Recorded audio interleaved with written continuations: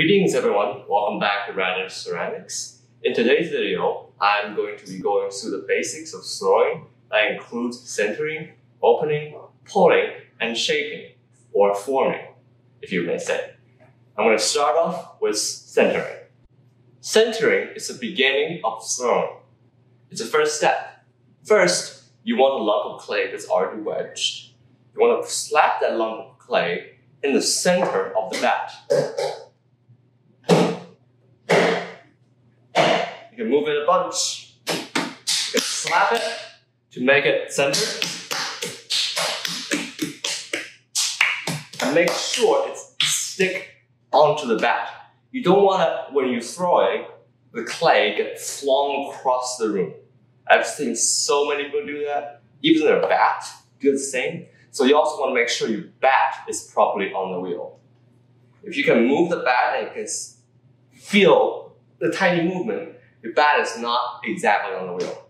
So I'm going to take some lump of clay off and position them between the bat and the wheel and just squeeze it. Make it stick together. Now that your clay is and the bat is on the wheel, you can start centering. The first method I'm going to be introducing is the most classic and easy to learn one. To prepare this, you want to first push your chair forward, as close to the wheel as you can. Take your arm, place it on the hip bone, right here. You want to firmly place it on the hip bone. And you want to push with your hip bone as well as your arm to give maximum strength and stability. You don't want to push it at like this or just like this because this way when you are pushing the clay, the clay is going to push you back and your hands going to wobble. Therefore, you can't center. Another trick, if you are very skinny like me that don't have much body weight, you can also use your leg, hook it around the leg of the wheel and push it with your whole body. Use your entire body's strength instead of just your skinny arms. Look at those skinny arms. What you do is you take your hand, left hand, this part, push in, push toward the center, into the clay. You take the side of your palm on your right hand right here, push, put, place it on top of the clay and push it down so that you have force go pushing in, make it up, and you have force pushing down and make it wide. That equalizes the force and make it centered and stable. Now that everything is ready, I can start centering. First, I'm gonna take a finger and go around the bottom and seal the clay onto the bat. Next, I'm gonna set the wheel to a right speed that is fast and put my feet down from the pedal. When I'm centering, I want to use a lot of water. You can grab a sponge in your right hand to squeeze water out when you need it.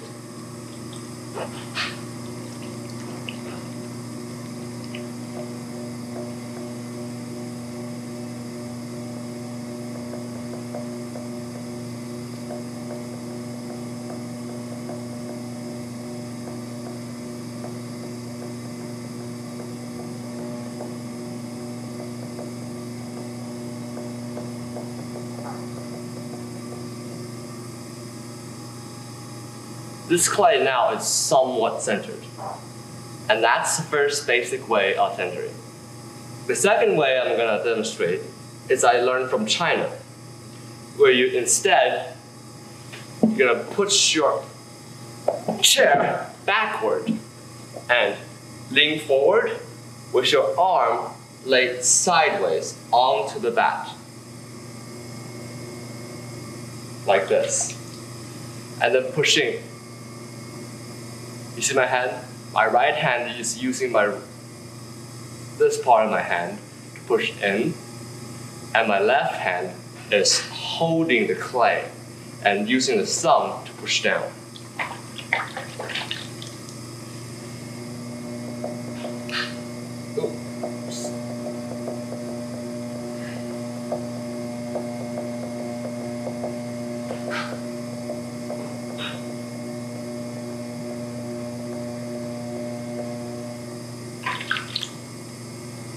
One important thing is when you let go, when you're when you're centering and you want to let go, you want to let go slowly. If you let go too quickly, the clay might uncenter itself.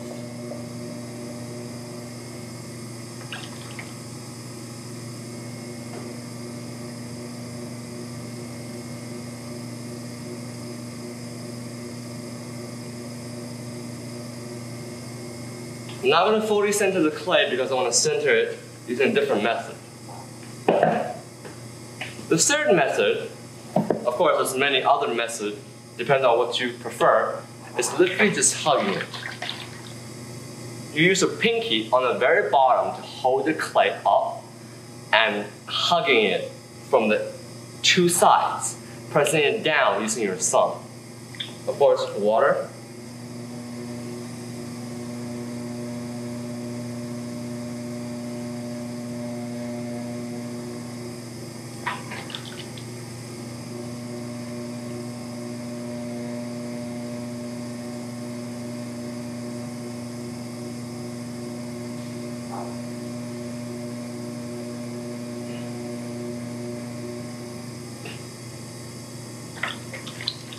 The last method I'm going to teach you is coning, which is by far, I think, is the best method. It's easy to use, it requires less strength, and it helps mix the clay. Coning not only helps mix the clay, it is also a better method if you're, for say, centering a large quantity of clay. What you do for coning is you want to grab the clay from the bottom and push it up towards to form a cone.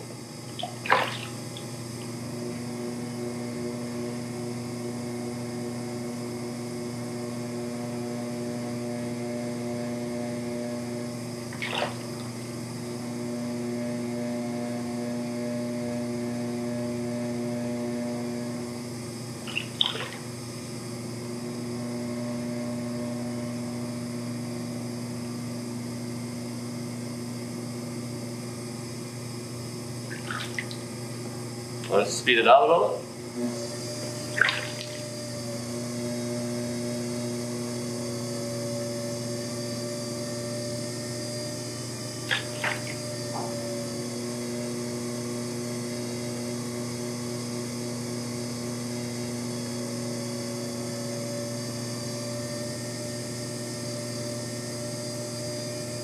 Now that I have formed a cone, I want to press the cone down. Instead of pressing it straight down, I'm going to press it at an angle, at more or less forward.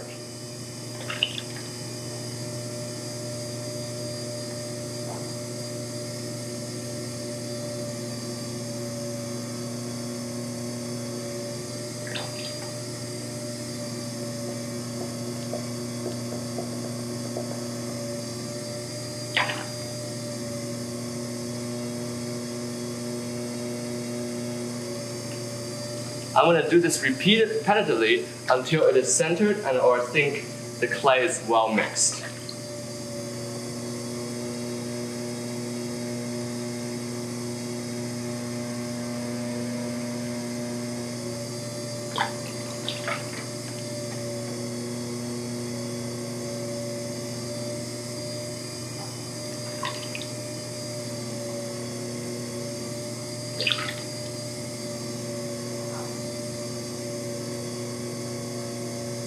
You want to make sure your clay is centered while you start before you start throwing, or you're gonna hate yourself a lot. Most people are stuck at centering for a long time, but the best suggestion I can give you is to just do it a lot.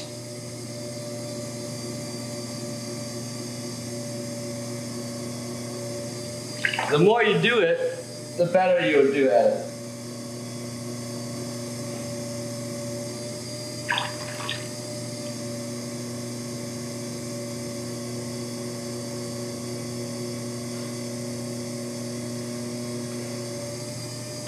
I like to hug it a little bit in the end. So this clay is now centered. What you do next is opening. But first I'm going to stop the wheel and tell you how to practice centering. What I used to do to practice centering is I'll have a large clump of clay. I'll center the clay, I'll knock it over, center it again, knock it over, center it again. You just and you center it again.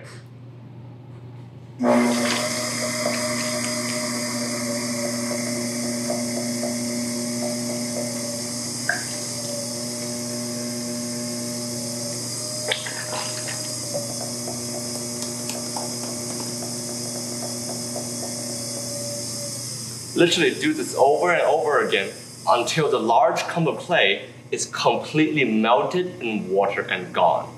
At that point, you're probably decent at centering. You just do that many, many times, or just do regular centering, just do regular throwing, and you eventually get good at centering. But you will get stuck on centering for a long time. Don't worry, everybody does that. Now I'm going to recenter the clay and introduce you to the second step of throwing, opening.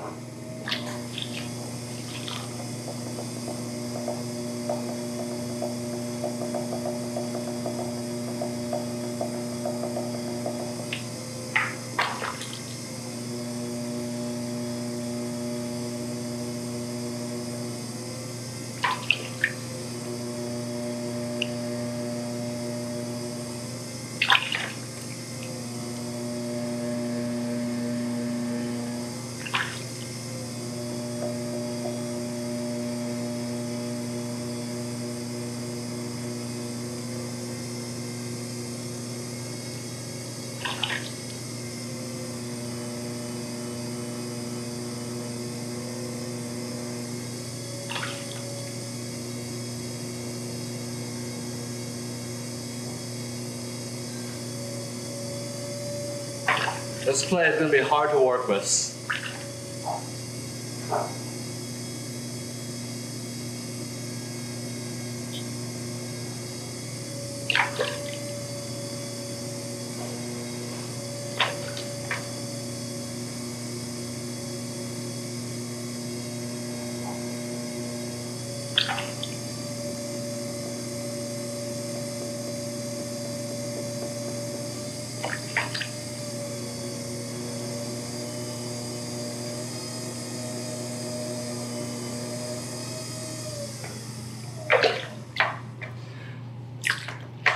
Now that the clay is centered, I can start opening. There's two ways of opening. The first way is simply dig down. You use two fingers or more. Avoid the very center of the clay, slightly off, and dig down. You see like a stick of clay popping off, and you just toss the stick of clay away. That's fine. The second way of centering is you first make a dimple, first make a dip in the middle of the clay, slightly going down, and then start from there. You take a sponge, or you can just use your finger, and then you slide it down. It's a more clay efficient way of opening.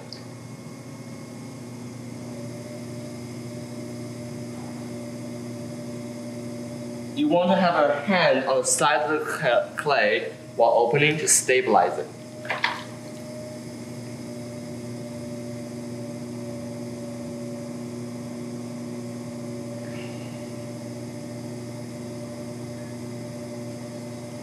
When you're digging down, you need to make sure you don't go all the way through or your piece is not going to have a bottom.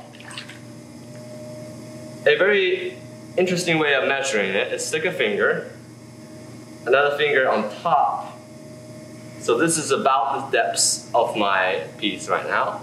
And I place it on the side, push it in, I can know I have about this much on the bottom. That means I have about this much on the bottom. I can go deeper. And after I think I reach the place, I'm going to first get the water out. And then use two fingers because I think it's more stable, and a sponge because I think that will make it smoother. Not in terms of clay being smoother, in terms of easier to slide around. Water, you want to make sure your fingers, even, even though behind the sponge, be absolutely straight. If your finger bends a little bit, you're, when you open it, going to have very uneven opening or even wobbling. Again, you also still want a hand on the outside to stabilize it.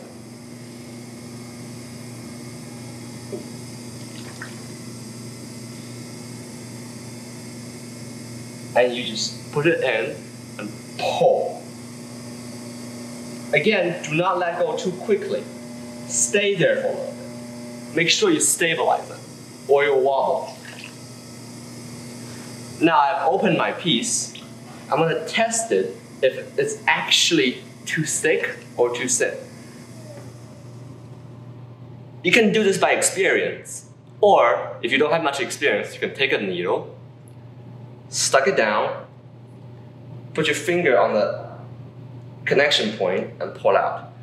Then I'll know I have about this much on the bottom, which is a bit too thick for me. So I'm gonna dig down a little bit more. You wanna dig down from the center and go out.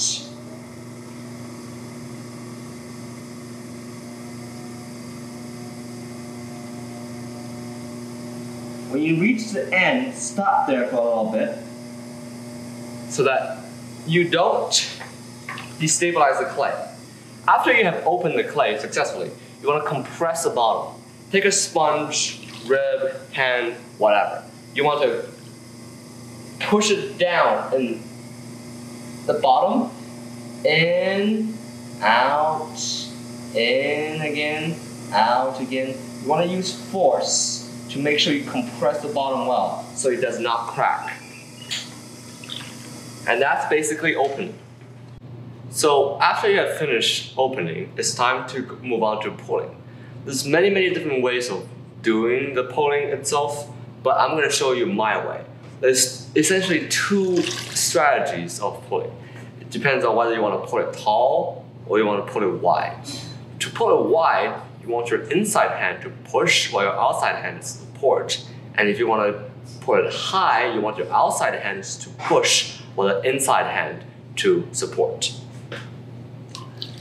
Essentially, I would like to use my inside hand a support like this, and my outside hand wrap it around a sponge, which you can choose not to, on the outside, and then move up together in uniform. Try to use the same force from bottom to top. You want to always finish your pull. One pull always has to finish from bottom all the way to the top.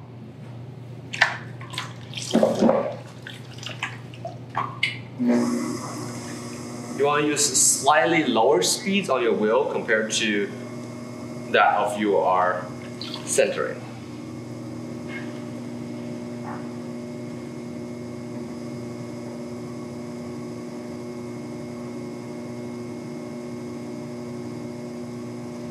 I usually like to use my first pull on the same level so that it evens out the clay. So it's easier for me to pull for the next pole.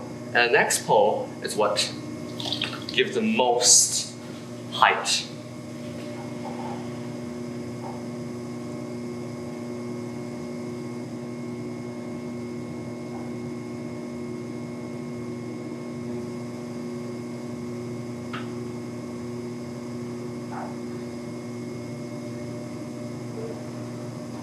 When you reach this stage, you have sort of an uneven top and it's a little bit wobbly.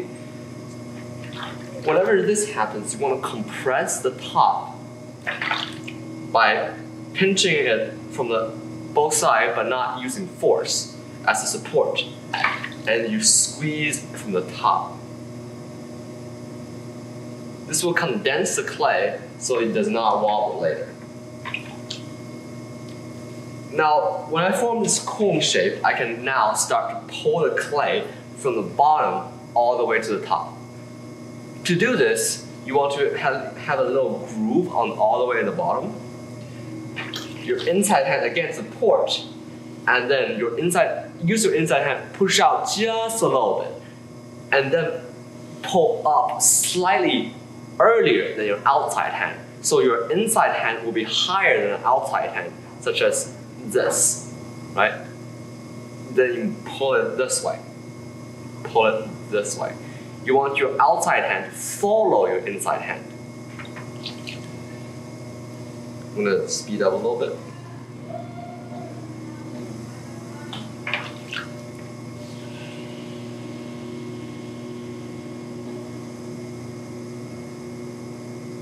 Again, don't use force on the inside hand. Only use force on the outside hand.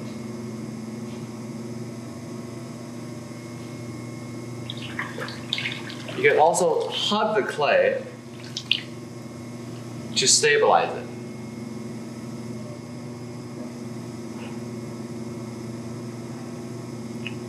And on the top, don't forget to compress the rim.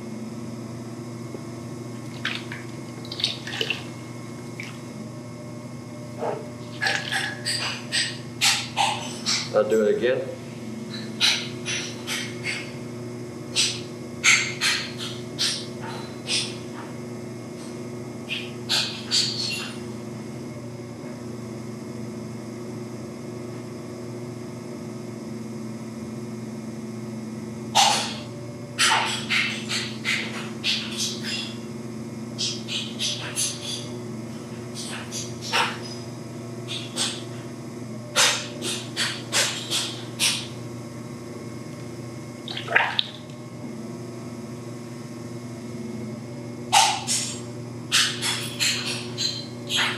So that was pretty of a risky pull. Pulled a lot of height, but the clay itself is not stable. So I want to do a stabilizing pull, meaning they move at the same height. A, a height pull is what you use your right hand to follow your left hand, while a stabilizing pull is when they're the same height. Remember, still use water.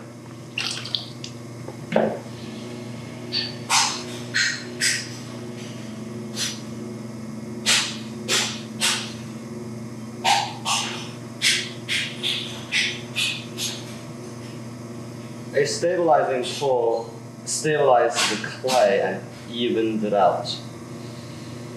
If you feel like your hand will, will wobble a lot, try to lean it against your leg. Then I'll do another height pull. Look at how I make a little groove on the bottom before I pull. So I squeeze the clay in, grab the clay from the inside, pull from the pull up from the inside, and follow it up with my right hand.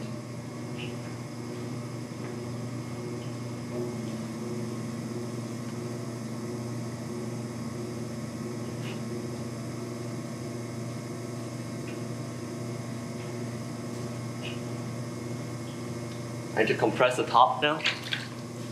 Don't forget to compress the top once in a while. Again, I want water. Making a little groove. Sponge. Pull again.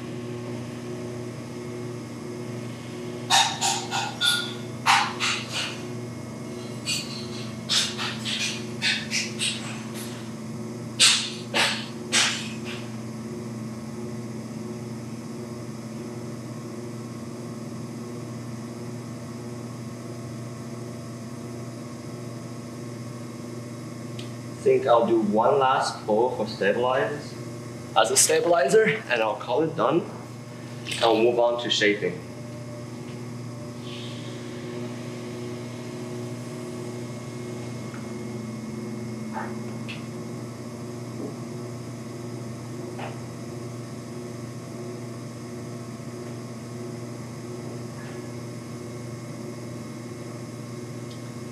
Don't be afraid to use a rib further stabilize or straighten it.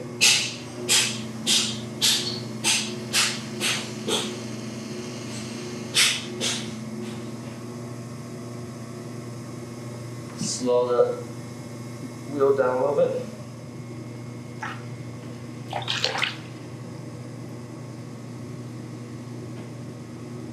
Make sure I can get rid of as much wobble as possible.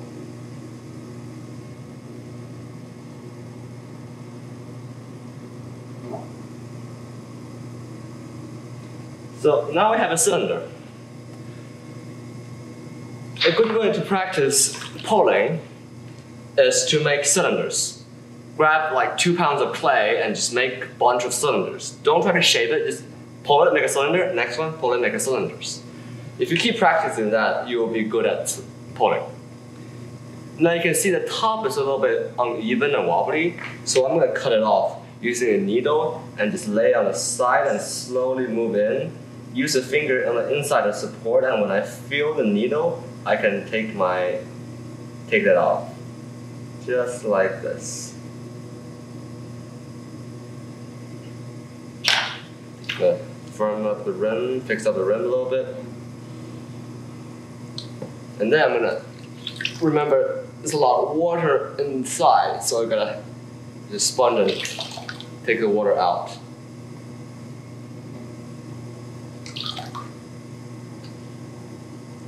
Now for, for shaping, you can use various tools.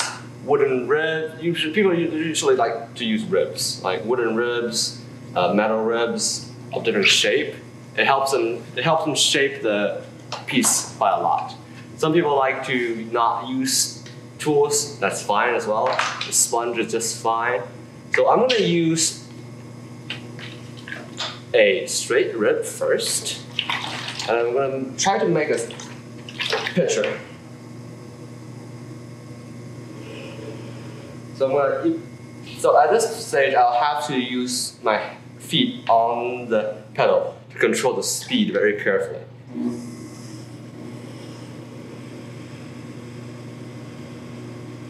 I essentially want to push from the inside and stabilize it on the outside.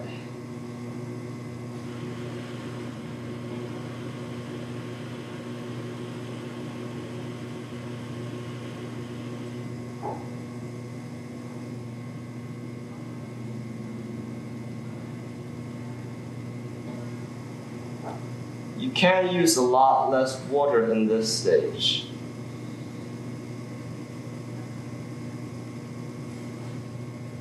But it is still necessary.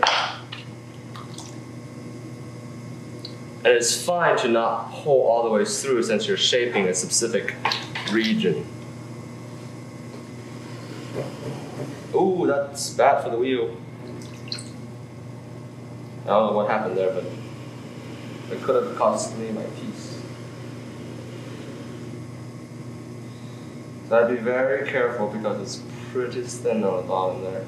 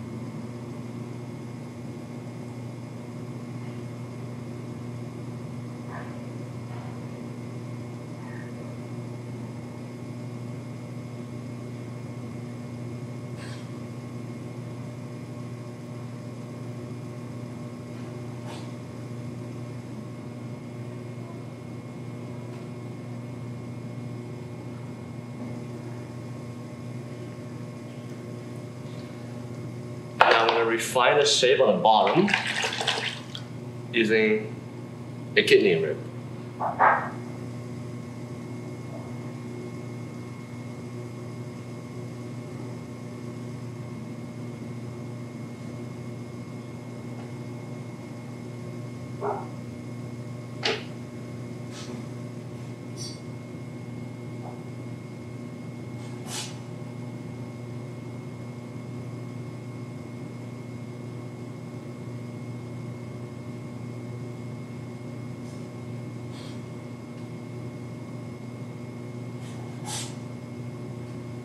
You shape it, you want the wheel to be slow, so you can get more exaggerated forms.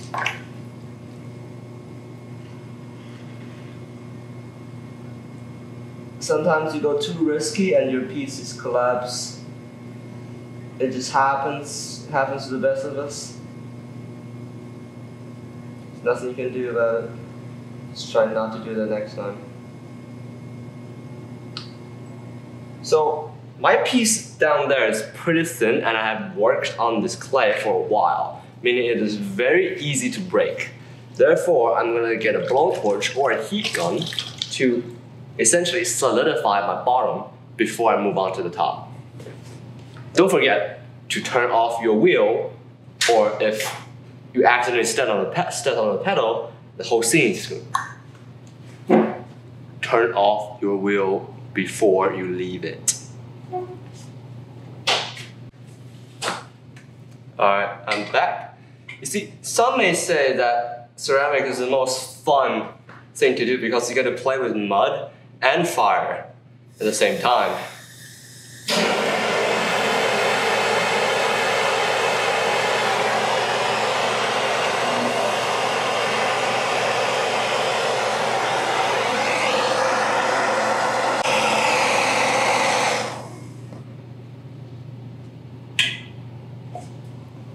Probably enough.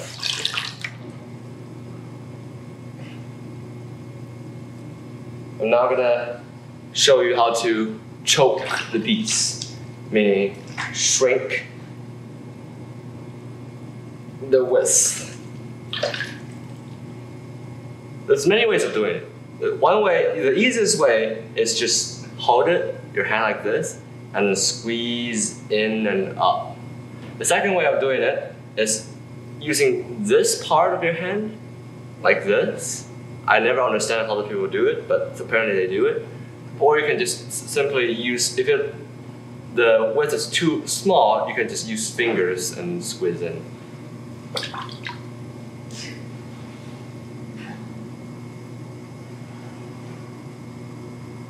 When you're doing this, make sure you go all the way.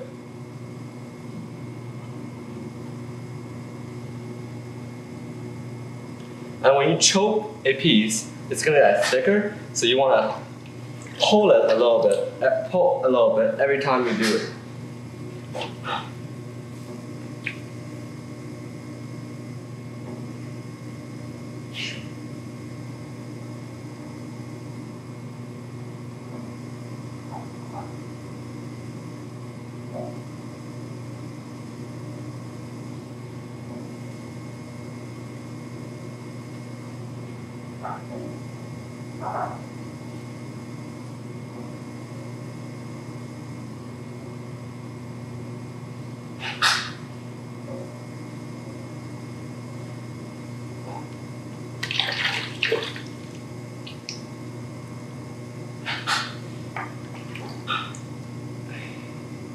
You can also use only use one hand on the choking side and another one on top to stabilize it.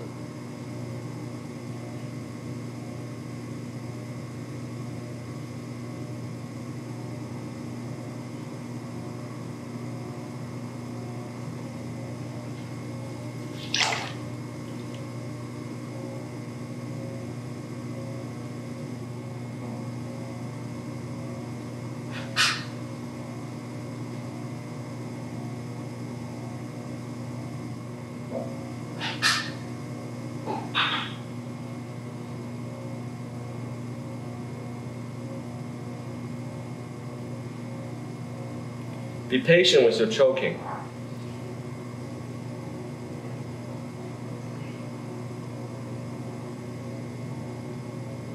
Sometimes you don't need to go all the way at once. You want to let you want to do it steady and a little bit at a time, or your piece is just gonna fall.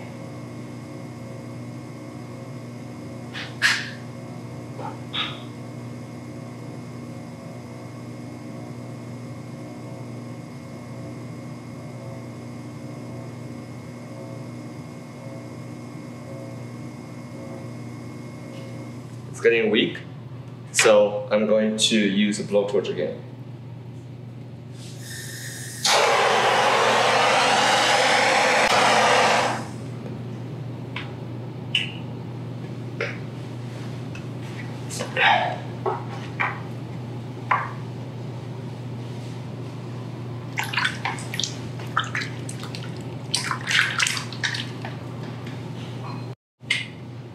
Before I finish so my arm couldn't get in, I'm gonna put a shaping on the bottom one last time so I get the shape I want.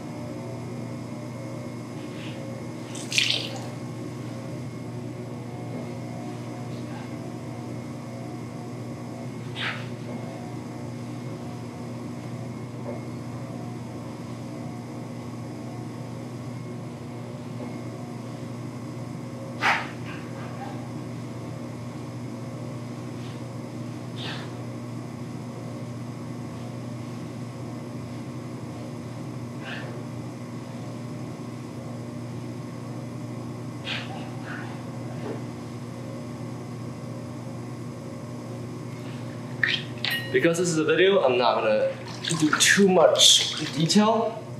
So I'm just gonna finish off by smoothing it out and shaping it one last time.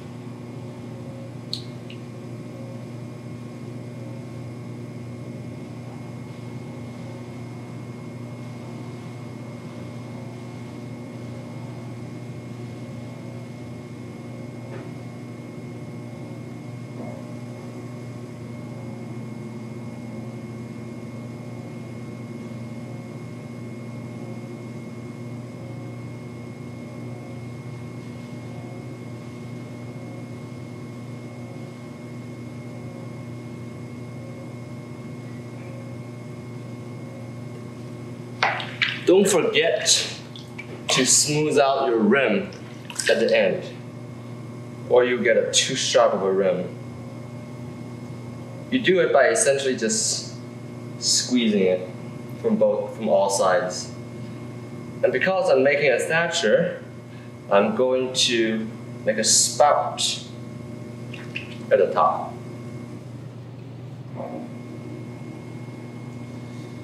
To do this, I essentially just wet my hand a little bit. Find a spot I want to make the sprout. Have a finger on the inside and two fingers on the outside. Like this. And then go that. Do it again.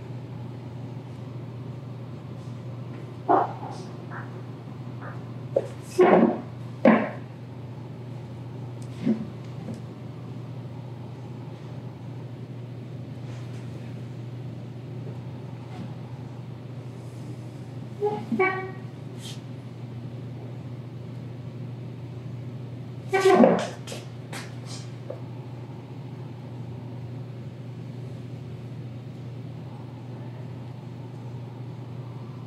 push from the inside and support on the outside.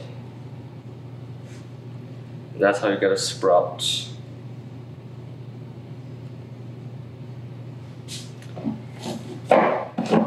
This is a pretty ugly looking picture, but I get my point through. And that's how you shape your piece. I've demonstrated centering, opening, pulling, and shaping. Tomorrow we're gonna add a handle to this picture. But now for the last step, I'm gonna get this off the bat. Which you take a wire, you get some water, and just go through it. And it's off the bat. If you don't feel safe removing this off the bat, you can just literally take the bat off. But remember you just put a bunch of clay around it in the beginning, so you gotta get rid of those.